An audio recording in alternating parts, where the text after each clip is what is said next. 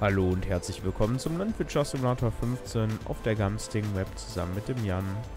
Hallo.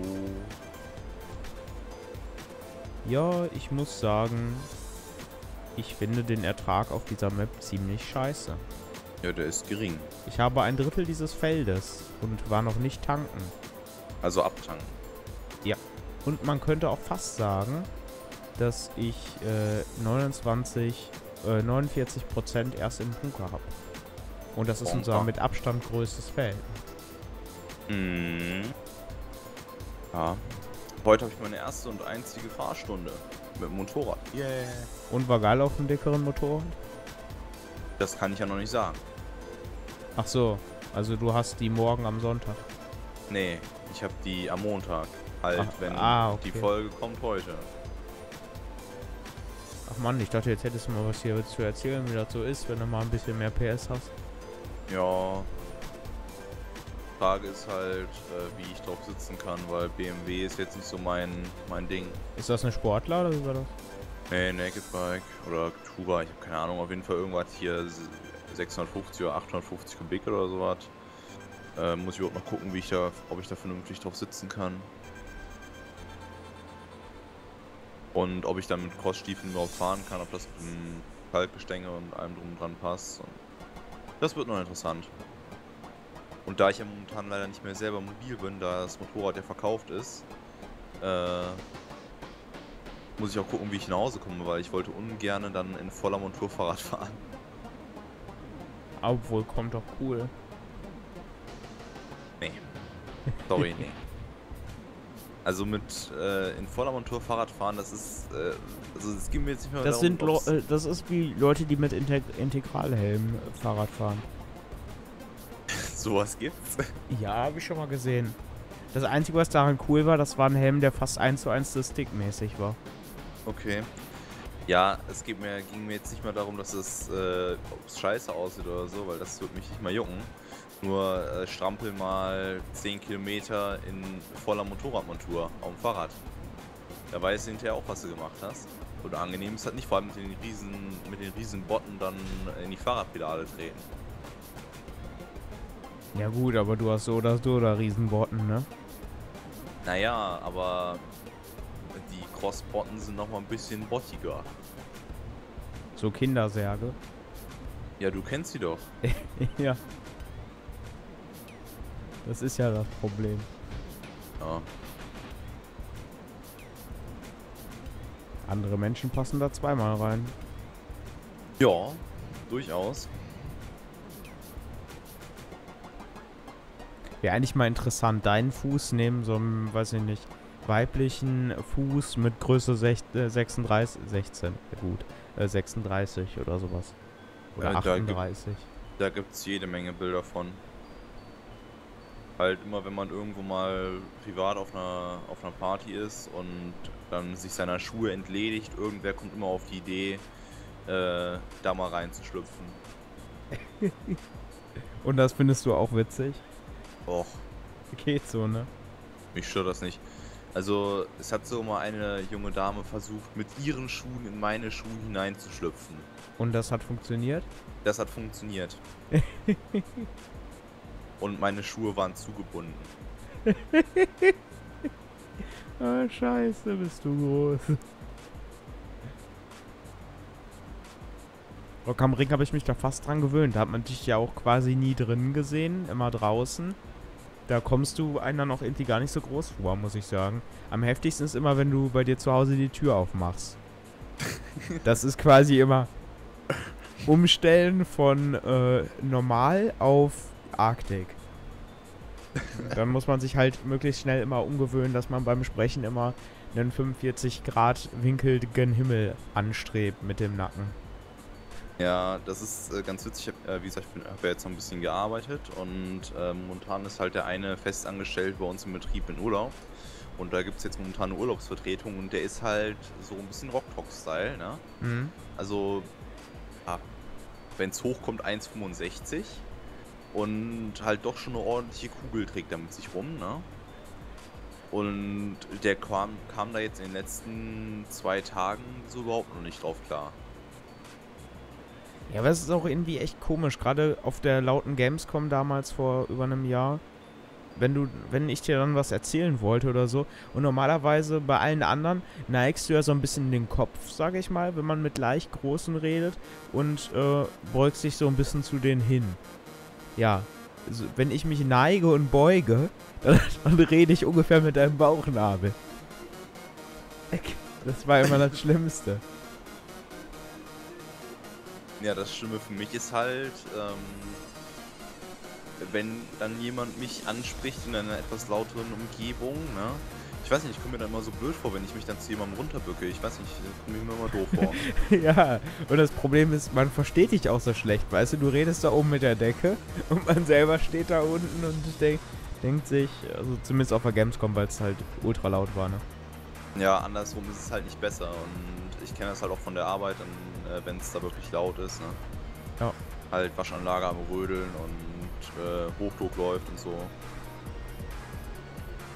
Wie ist das eigentlich, wenn jemand in einem Sportwagen vorbeikommt? Da musst du dich ja auch, da musst du quasi in Knien gehen und dann noch bücken, ne? wenn du mit dem irgendwie, welches Programm wollen sie? Äh, ich kassiere ja nicht. Also du musst eigentlich nie mit denen reden? Nö, nö. Ich habe jetzt nicht so den direkten Kundenkontakt, außer ich werde mal draußen angesprochen oder also wenn man halt mal über den Hof geht, ne, einen kleinen Hofgang macht. Oder äh, wenn man halt als erster quasi zur Stelle ist, wenn der Kunde vorfällt, dann sagt man halt Hallo. Dann werden direkt die Felgen eingeweicht. Ja. Aber heute war echt, ein, was die Sportwagen angeht, eigentlich ein ganz schöner Tag. Also bei mir auch. GT3 RS. Oh. Also wir hatten bei uns in der äh, Box hatten wir einen F12 Berlinetta. Okay, du hast gewonnen. Und äh, dann in der Waschanlage hatten wir dann noch die beiden äh, deutschen sportlichen Kombis. Einmal Audi, vertreten mit dem RS6 und einmal Mercedes mit dem E63 T-Modell. Auch ziemlich pedo. Vor allen Dingen E-Klasse hat ja alternativ hinten noch einen sechsten und siebten Sechs, äh, Sitz im Kofferraum, ne? Als T-Modell. Echt? Das wusste ich gar nicht. Zumindest habe ich das damals auf der Präsentation von der E-Klasse gesehen. Ich glaube, das hat sie auch noch. Obwohl, kann auch sein, dass das die letzte E-Klasse war, die vor fünf Jahren kam. Okay, ja, auf jeden Fall dann halt auch so die etwas normaleren Autos, was man halt häufiger mal sieht, halt C63. Ja gut. Aber 63er sind eigentlich nie so ganz normal. Ne? Ja, aber wir haben bei uns halt mehrere Kunden, weil äh, direkt der Nachbar quasi von uns, äh, der ortsansässige Spediteur, hat halt einen C63 und mein Motorradhändler fährt auch einen C63, wohlgemerkt T-Modell. Und äh, wenn die samstags Feierabend haben, kommt er halt auch mal mit seinem Wagen in die Wäsche. Ich muss sagen, ich feiere sein Kennzeichen extrem. Weil, also Kreis möchte ich jetzt logischerweise nicht sagen. Ja, aber, reden wir äh, gleich drüber, würde ich sagen. Hä? Ach so. Den, den Kreis möchte ich jetzt nicht sagen, aber das Kennzeichen halt C63 finde ich halt einfach geil. Ach so, okay. Ich dachte, jetzt kommt sowas wie irgendeinem Wort aus den. Äh nee, nee. Also sowas wie doof beispielsweise. Ja, bei Dortmund doof, klar. Oder letztes habe ich noch was Witziges gesehen mit Nico. Ich lauf, äh, lau ne. Ne, fällt mir nicht mehr ein. Irgendwas Lustiges, das ist irgendwie so in Richtung Tuff Tuff oder so.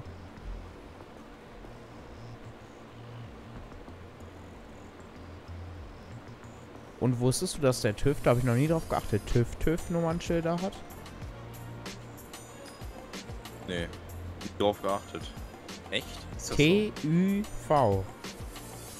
Als Kreis. Okay. Sieht extrem witzig aus, irgendwie ein Ü.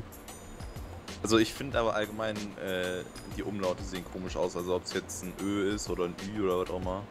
Gibt es sowas überhaupt ansonsten auf den Nummernschildern? Ja, gibt es. Hier in der Nähe haben wir nur welche ohne Umlaute.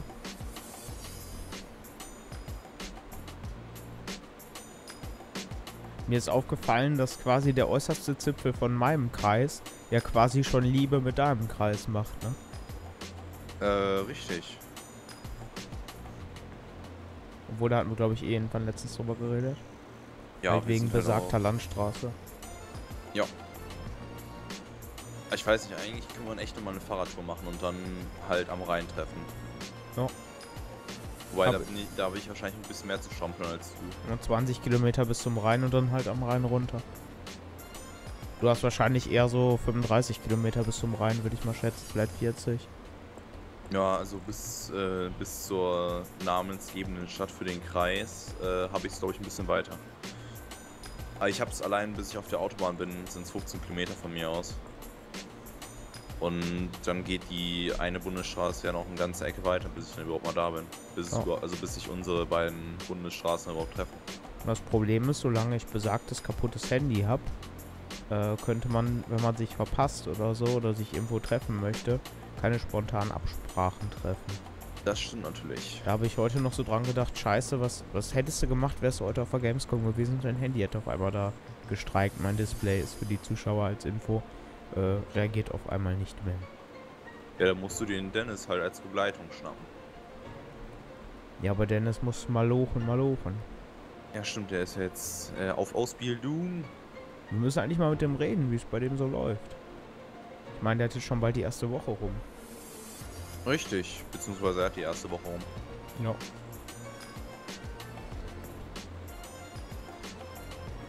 Auch krass. Ja. Ich kenne jetzt Dennis auch schon bald drei Jahre.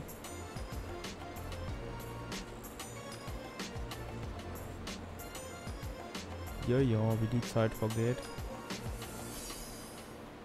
Ich fand es ja auch extrem witzig, wie viele halt so auf LS17 gepocht haben, dass das hoffentlich kommt und so weiter.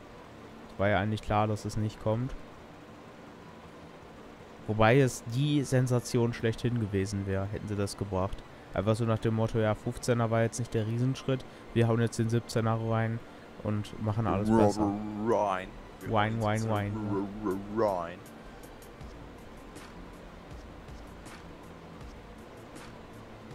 Wäre auf jeden Fall interessant gewesen. Aber war halt eigentlich überhaupt gar nicht mit zu rechnen, weil Giants auch, ja, nicht unkreativ ist, aber jetzt, die Das- bleiben ja, eigentlich immer ihren. Richtlinien treu, ziemlich. Aber das Arbeitstempo wäre wahrscheinlich auch nicht. Äh, Obwohl, äh, Fructo hat gesagt, es bereiten, arbeiten bereits circa 20 Leute dran. okay. Am LS17. Groß ist eigentlich das Team von Giants? Ich weiß es nicht, du kannst es glaube ich auf der Giants.com Seite sehen. Wobei du musst halt Giants-Software.com glaube ich, weil wenn du Giants.com, das ist irgendein amerikanischer Footballclub. Ja, New York Giants. Da komme ich jedes Mal drauf, wenn ich auf die Seite will. da kann man Cappies kaufen. die gucken mich dann immer so schön an. Und das Beste ist, ich kenne einen Freund von uns, der bei Rock am Ring mit war, der Ja, eine Cappy klar. Entsprechend hat. Der Ja, das war, das war mir schon klar, dass du darauf hinaus wolltest. Und damit, äh, da, äh, das äh, wusste ich sogar, weil die hat er ja sogar bei Dings dabei gehabt. ja? Ja, ja, die hat er bei Rock am Ring angehabt. Und manchmal hat er auch, äh, ich glaube, San Francisco oder sowas. Äh, ja. Hatte der mehrere Cappies mit? Was ist denn das für ein Junkie?